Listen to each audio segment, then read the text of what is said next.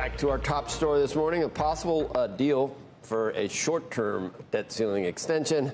Uh, futures pointing to a higher open on hopes uh, of an agreement. Ylan Mui joins us uh, from Washington with the latest. We really, I think Manchin had to come out and say, no filibuster, I'm not doing it before things got serious again. And, and that sort of seemed like it, like both sides said, okay, we got to get, we got to figure something out. And that's when it started, I think. Yeah, that filibuster storyline kind of lived and died very quickly there, but the negotiations went on late into the evening on Capitol Hill, but there was still no official deal on the debt ceiling. Senate Majority Leader Chuck Schumer said that the two sides were making good progress, but not there yet, and he hoped to be able to announce an agreement this morning instead. Now, Republicans have offered to support a short-term increase in the debt limit that would allow the government to keep borrowing money into December, but Democrats would have to target a specific dollar amount for that new cap. They couldn't just waive it altogether. Republicans hope the extra time would give Democrats a chance to pass a longer term fix through the reconciliation process and without GOP help. But Democrats are rejecting that idea explicitly in some cases. What's my reaction to his so called offer?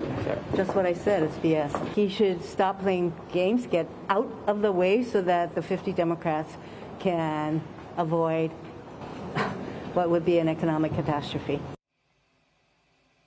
Now, others were more optimistic. Senator Chris Murphy tweeted that it sucks that McConnell only agreed to extend the debt ceiling until December, but he said a short term deal gives Democrats the space to finish Build Back Better negotiations, which brings up a good point, Joe. Congress is now just punting all of its fiscal deadlines until the end of the year. So we're going to be right back here again soon. Back over to you. And as we pointed out, um, Uh, in when we talked about this at the top of the show, there, there's something else happening in November between now and December. We'll see who.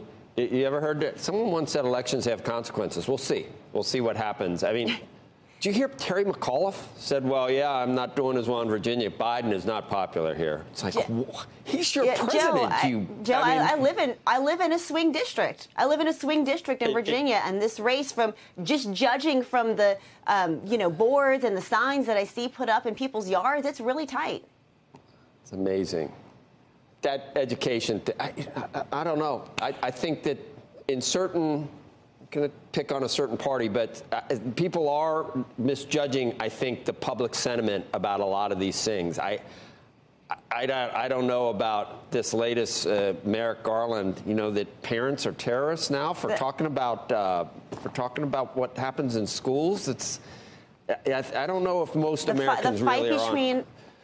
Yeah, go ahead. The fight between progressives, the fight between progressives and moderates, that was playing out around the infrastructure bill versus the social spending package. I mean, that's playing out in states and localities, you know, across yeah. the country, and so that tension within the Democratic Party is just going to be on display November second.